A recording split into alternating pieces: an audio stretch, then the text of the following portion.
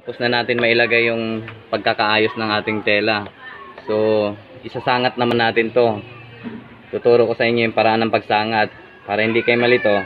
Doon pa rin kayo sa kanan, dito pa rin kayo sa kanan magsimula. Kunin natin to. Itong isang linyang to, kunin natin. Bilangin natin dapat dalawa, isa, dalawa. Ang paglalagyan natin, dalawa din dapat. Isa, dalawa. Yan, dalawa. Dito tayo sa gitna ng pako magsimula. Ito, itong pinakagitnang pako. Dapat dalawa din dito sa ilalim. Isa, dalawa. So, kukun, hawakan natin. Kita natin dito.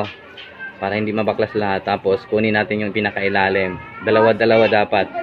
Ayan. Kanan lang tayo magsimula lagi. Ayan.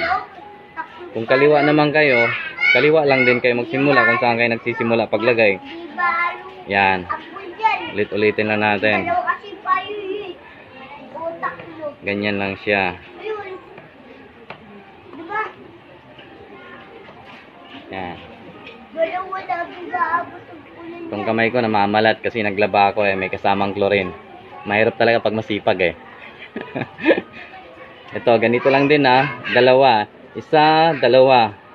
Isa, dalawa. Yan. Alternate lang din yung paglalagay. So, madali lang gawin to oh. Easy lang oh. Landahanin natin baka hindi nyo masundan. Ganyan. Hanggang sa dulo nito. Sasabit mo na siya. Ba? Yan.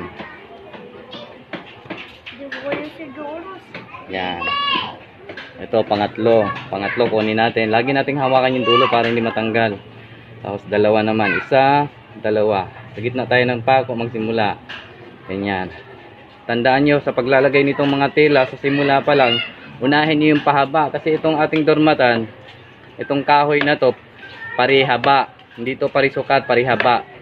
So, unahin natin yung pahaba na pag para yung panghuli maikli.